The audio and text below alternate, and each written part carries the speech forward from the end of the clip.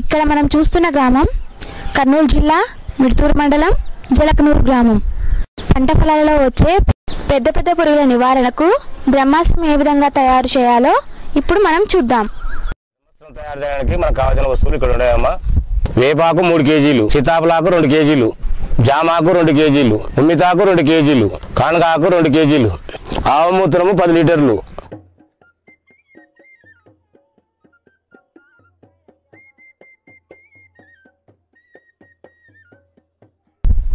మనం ఐదు రకాల ఆకులు తీసుకున్నాం కదమ్మా. ఒక్కొక్కటిగా మెత్తగా దంచుకుందాం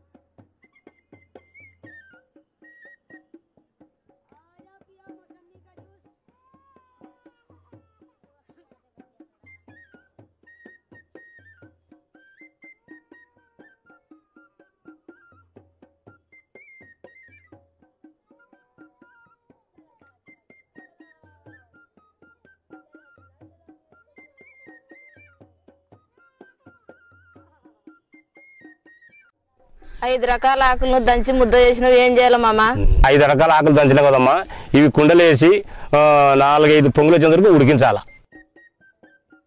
ముందు కుండ తీసుకొని పొయ్యి వినే పెట్టుకోవాలమ్మా. తర్వాత పది లీటర్ల ఆవమూత్రం కుండలో పోసుకోవాలి.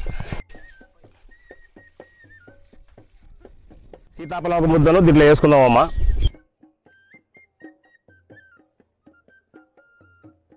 తర్వాత యాపాకు ముద్దను కుండలో వేసుకుందామమ్మా.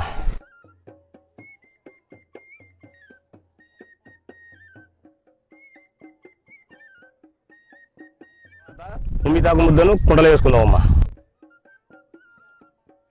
తర్వాత కన్యాకు ముద్దను కుండలో వేసుకుందామమ్మా. ఈ విధంగా జామాకు ముద్దను కుండలో వేసుకున్నాం తర్వాత ఇప్పుడు కుండ మూడ మూత పెట్టి నాలుగైదు పొంగులు బాగా వచ్చేంత వరకు ఉడకబెట్టాలమ్మ దీన్ని.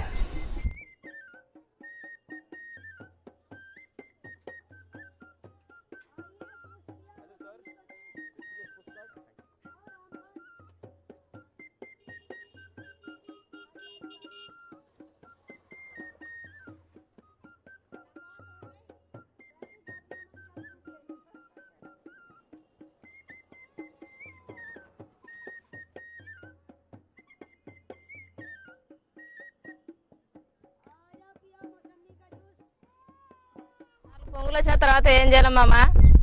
ఇలా నాలుగైదు పొంగులు వచ్చిన తర్వాత దీన్ని నలభై ఎనిమిది గంటలు దించి చల్లార్చాలమ్మా.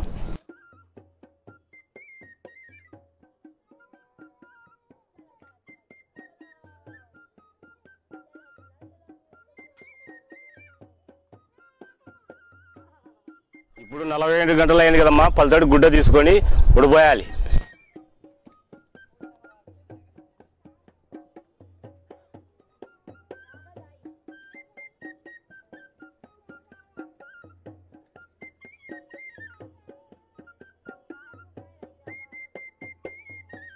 అమ్మా ఇప్పుడు మనకు బ్రహ్మాస్త్రం కషాయం తయారైంది. మామ ఈ కషాయం ఎన్ని రోజులు నిల్వ ఉంటుంది? అమ్మా ఈ కషాయం ఆరు నెలల వరకు నిల్వ ఉంచుకోవచ్చు. ఈ కషాయం వాడుకోవడం వల్ల ఉపయోగం ఏంటి మామ? ఈ కషాయాన్ని మా పంటపై పెద్ద పెద్ద పురుగులను నివారించుకోవచ్చు. అంతేకాక మా పంటను రక్షించవచ్చు. ఈ కషాయం ఏ విధంగా వాడుకోవాలి? అమ్మ ఎకరాకు వంద లీటర్ల నీటి తీసుకొని రెండున్నర నుండి మూడు లీటర్ల వరకు బ్రహ్మస కషాయం తీసుకొని నీటిలో కలిపి పొలంపై పంటపై పిచికారి చేయాలి. అమ్మ ఇప్పుడు వంద లీటర్ల నీళ్ళు తీసుకున్నాం కదా దీంట్లో బ్రహ్మస కషాయం రెండున్నర నుండి మూడు లీటర్లు పోతాం.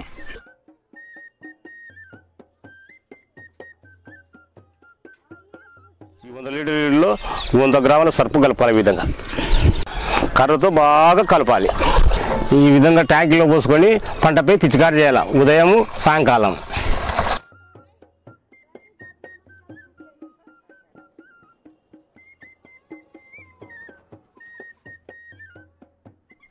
రైతు సోదరులకు తెలియజేది ఏమంటే బ్రహ్మస్త్రం తయారు చేసి చూశారు కదండి.